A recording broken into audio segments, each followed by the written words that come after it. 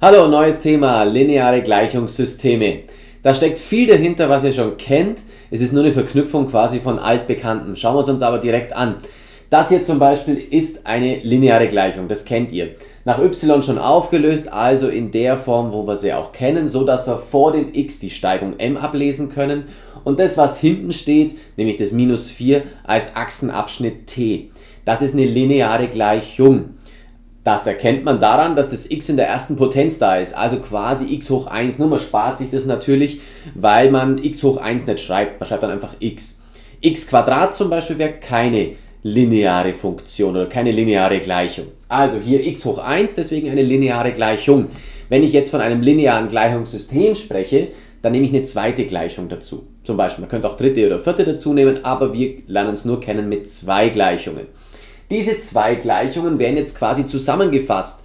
Man spricht dann meistens immer von der ersten und von der zweiten Gleichung. Und man schreibt römisch 1 und römisch 2 hin, damit man es nicht durcheinander bringt, weil man mit denen meistens dann auch mathematische Umformungen machen muss. Schreibt man einfach davor, das ist die erste und das ist die zweite. Hätte ich jetzt auch vertauschen können, einfach dem quasi bloß einen Namen geben, damit man weiß, wann ist die erste und wann ist die zweite gemeint. So, und diese beiden linearen Gleichungen, die sollen jetzt gleichzeitig gelten. Es ist mit diesem diesem Unzeichen hier oben gemeint. Das heißt so viel, beide müssen gleichzeitig erfüllt sein. Was bedeutet das? Das werde ich euch jetzt kurz hier zeigen. Und zwar habe ich hier zwei lineare Gleichungen eingezeichnet. Ich nehme jetzt, passe jetzt mal das Ganze so an, dass es genau zu dem passt, was ich habe. Also ich steige meine Steigung auf 1,5, wie bei dieser Gleichung her. Und ich nehme meinen Achsenabschnitt auf minus 4. So, dann verändere ich hier äh, die Steigung auf minus 1, ne, falsche Richtung, und den Achsenabschnitt auf minus 1. Das sind jetzt quasi meine zwei Gleichungen. Jetzt sehen wir gleich hier, der, ähm, entstehen zwei Geraden. Die rote ist die, die da drüben und die grüne, die grüne haben wir hier. Das heißt, das sind jetzt beide grafisch veranschaulicht.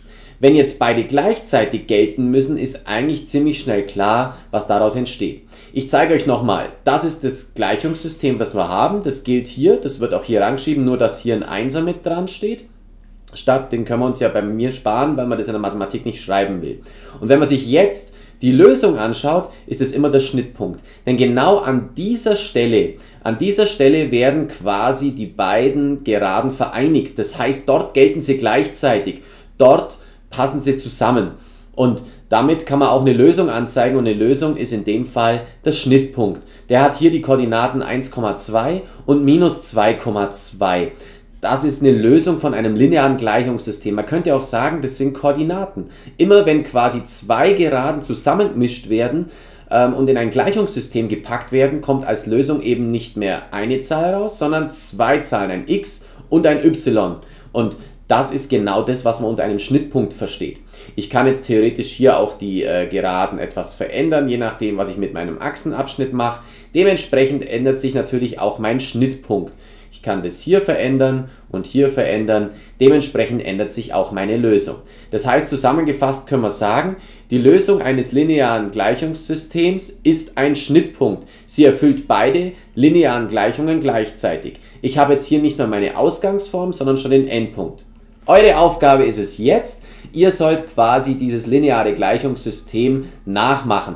Das heißt, ihr schreibt erstmal das, was hier auf der rechten Seite ist, ab und dann geht er zu diesem Link hier oben. Dann öffnet sich nämlich genau das, was ihr jetzt vor mir seht, nämlich das hier mit oder hinter mir seht, das hier mit den linearen Gleichungen, beziehungsweise mit den zwei linearen Gleichungen, die man als Graph darstellen kann.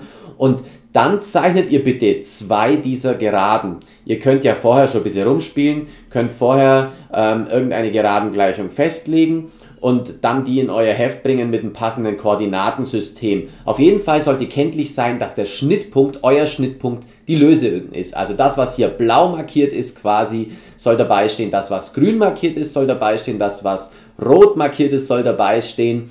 Und dann natürlich eure Zeichnung. Dass zwei lineare Gleichungen wenn man sie zusammenfasst, dass die gleichzeitig gelten müssen, dass dann ein Schnittpunkt rauskommt. Bis zur nächsten Stunde. Tschüss.